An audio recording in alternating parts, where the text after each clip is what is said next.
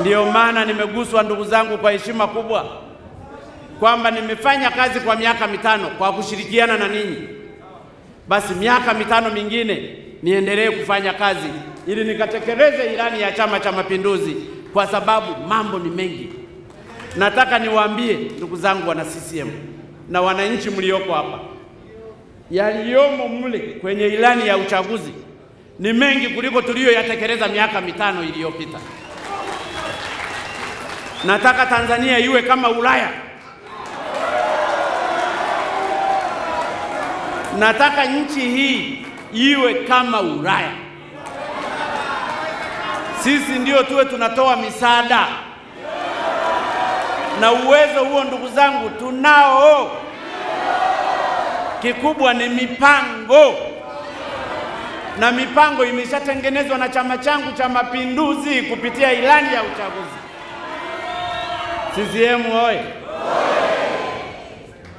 Leo nilikuwa nagusagusa tu kidogo, sinajua mmechoka ndugu zangu, mnataka niendelee kuongea? Wangapi wanataka niendelee kuongea? CCM oye! Nani kama CCM?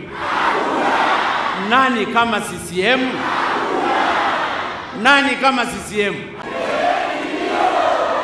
Hili ndio begi lenye fomu za kuomba urais nilizokabidhiwa mimi, na tutatangaza sera za CCM na bahati nzuri ilani ya Chama cha Mapinduzi kwa uchaguzi wa mwaka huu tayari umeshakamilishwa. Kitabu ni hiki hapa ambacho tutakinadi. Mnaweza mkaona kitabu cha mwaka huu cha Irani ni kikubwa sana kuliko cha miaka mitano iliyopita. Maana yake kina mambo mengi sana, siwezi nikayasema hapa yote. Tutayasema siku ya uzinduzi wa kampeni, na ninawaomba viongozi wenzangu kuzindua kampeni hizi, zikiwezekana tuzianzie hapa Dodoma.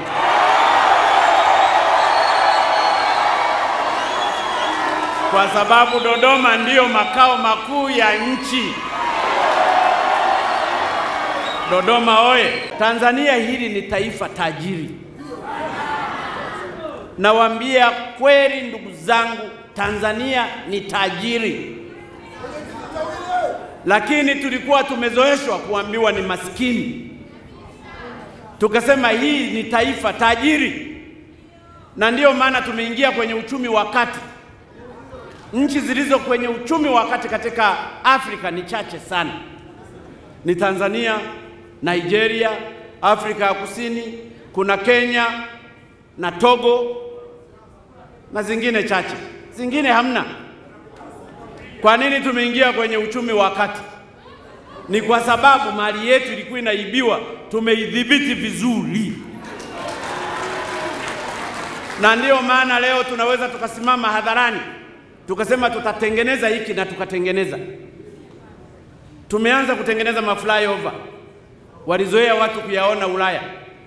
Tumenunua ndege kwa keshi, watu walisema ndege hizi hamwezi mkanunua. Tumenunua ndege za keshi kumi na moja